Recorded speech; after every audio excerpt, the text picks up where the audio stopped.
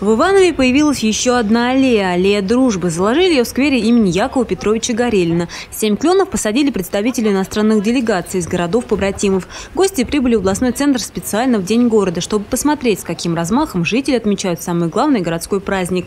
О том, что эти клены непростые, жителям будут подсказывать специальные таблички – Стафаршир, Ганновер, Лодзь. Теперь отношения с этими городами укоренятся в буквальном смысле слова. Замечательный праздник, я в восхищении. Видно, как жители любят свой город, гордятся им. С каким восторгом и радостью они встречают этот праздник. И мы, представители делегаций из других городов, будем учиться этому у ивановцев.